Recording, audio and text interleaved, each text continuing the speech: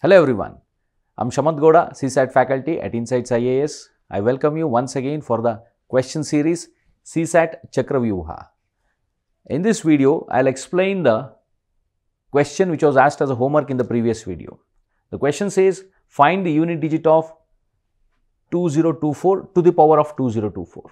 Okay. If you are thinking that this is a very big number, no. This is a very simple and easy question to solve.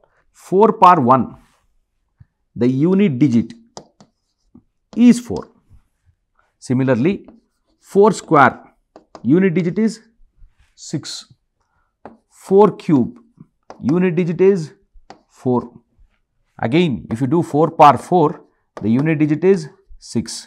4 power 5 unit digit is 4. 4 power 6 unit digit is 6. If you keep on moving, either you will get 4 or 6, 4 or 6, 4 or 6 for the power of 4 to the anything. Means if a number ends with 4 to the power of odd like 1, 3, 5, 7, 11, 101, triple 1, triple 3, okay. When a number ends with 4, unit digit is 4, whose power is odd, always the unit digit is 4.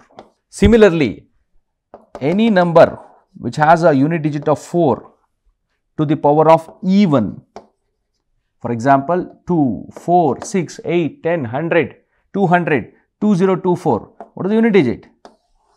6, see 6, 6, 6.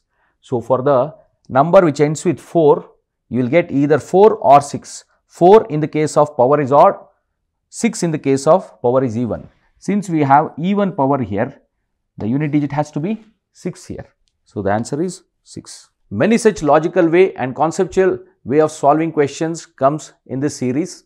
Do follow. And this is the homework of today. Try to solve this question and put the answer in the comment section guys. Thank you.